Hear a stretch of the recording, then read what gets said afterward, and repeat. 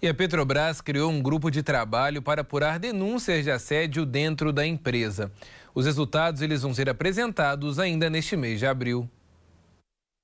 O grupo de trabalho foi criado pela Petrobras para rever os procedimentos da própria empresa ao receber e tratar denúncias de assédio e importunação sexual sofridos por mulheres.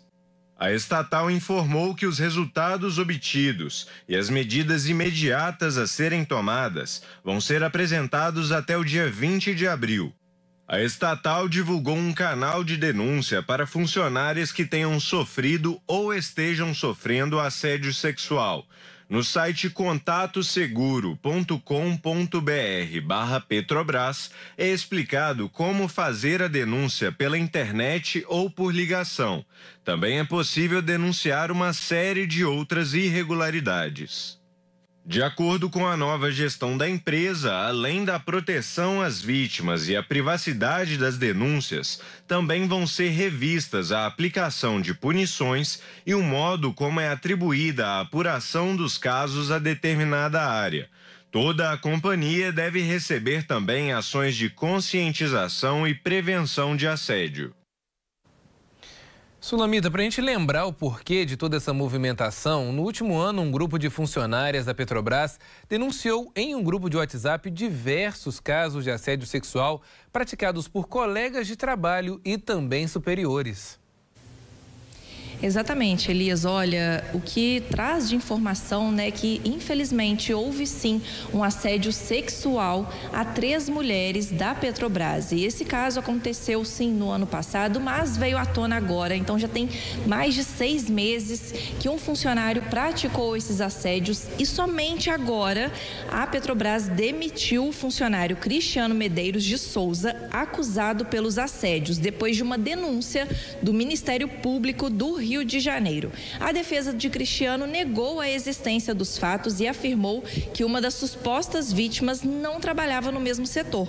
Por isso, esta semana, conforme a gente viu na matéria, Petrobras criou um grupo de trabalho também para rever esses procedimentos internos. De acordo com documentos eh, e relatos conseguidos pela Globo News, eles mostram que a ouvidoria, o Departamento de Recursos Humanos e a gerência do, do CESPEM sabiam sim deste caso desde setembro do ano passado. A demissão do agressor então aconteceu, no entanto, depois que o Ministério Público do Rio denunciou o petroleiro por assédio. Então, nesse grupo de WhatsApp, Elias, funcionárias da Petrobras relataram dezenas de episódios de assédios sexuais cometidos por colegas de trabalho e superiores hierárquicos.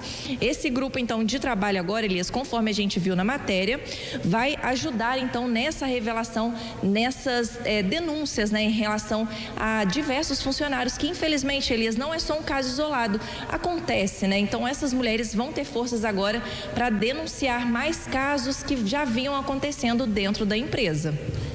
Pois é, Sula, acontece, mas não deveria acontecer. Nós estamos falando da maior empresa do país, não é? A maior empresa, principalmente estatal do país, a Petrobras. É uma empresa realmente de nome. Agora, imagina só, se isso aconteceu dentro da Petrobras, em órgãos que, sem dúvida alguma, estão ali sempre tendo uma vigilância, um certo controle, dentro de um prédio como este.